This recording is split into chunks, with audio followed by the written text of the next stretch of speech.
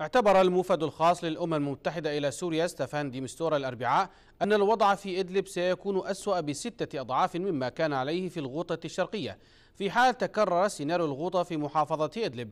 وقال دي مستورا خلال الاجتماع الشهري لمجلس الأمن للبحث في الجانب السياسي من النزاع في سوريا إن الوضع في هذا البلد بات معروفا ويتضمن قصفا ثم مفاوضات ثم عمليات إجلاء. وأوضح المبعوث الأممي أنه يوجد في إدلب ما يقارب مليونين وثلاثمائة ألف شخص نصفهم من النازحين وليس أمامهم أي مكان يلجؤون إليه. وأشار أيضا أن المحادثات الأخيرة التي جرت في أسيتانا كانت بناءة وتركزت حول إجراءات الوقاية لتجنب وقوع السيناريو الأسوأ في إدلب حسب وصفه.